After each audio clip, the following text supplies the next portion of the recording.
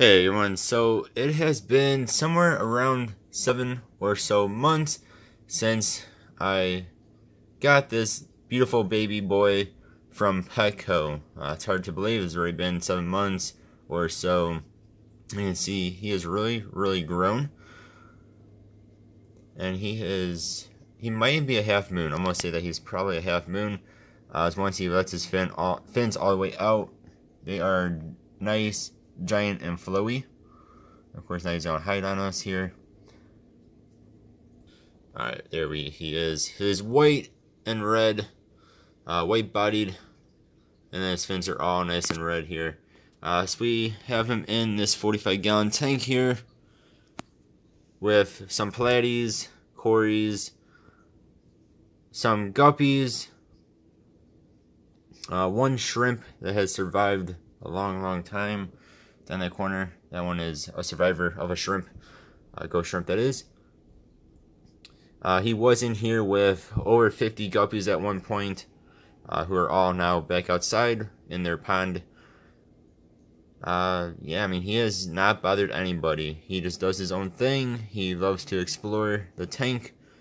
Uh, I mean, you can see, if you guys remember how small he, how small he was when we first got him. And he's on hide again. Uh, see he loves to explore everything.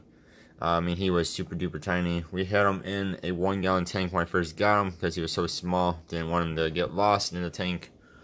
Uh, then he got upgraded and then upgraded again. So now he's in this 45. Uh, when we first put him in here, he he did follow. He never really attacked anybody else, but he was following the guppies around. Uh, so now he kind of does his own thing for the most part. He is he's actually quite fun to watch too. Even being a bigger fin betta, who in my experience are usually a bit on the lazy side, he is not. He's always moving.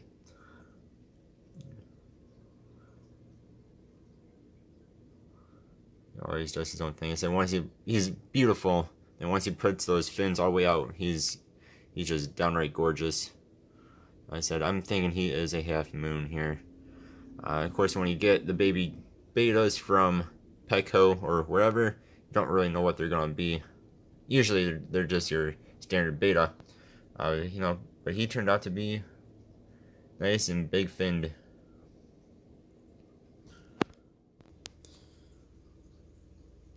And he is still curious at times. He still does chase after guppies every now and then.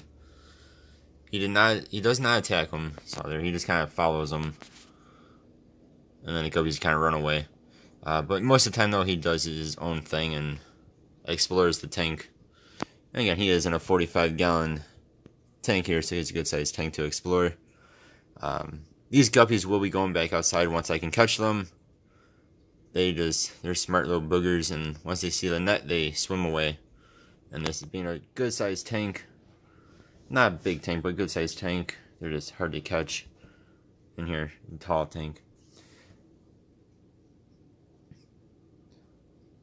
Yeah, so it's been about seven or eight months or so. You can see he has grown quite a bit. I see he's pretty much full grown now. Uh, but he could live, he could probably live another three or four years. Your typical lifespan is somewhere around three or four years, so he's probably some, I'm gonna guess he's somewhere around a year old. Uh, 10 months to like a year old. So I'm sure when I got him, he was at least a month or two. So, so yeah, that is the update, the about seven month update on my baby betta boy. Thank you guys all very much for watching. Hope you guys have a good one. As always, I appreciate it. I see you guys next time. Goodbye.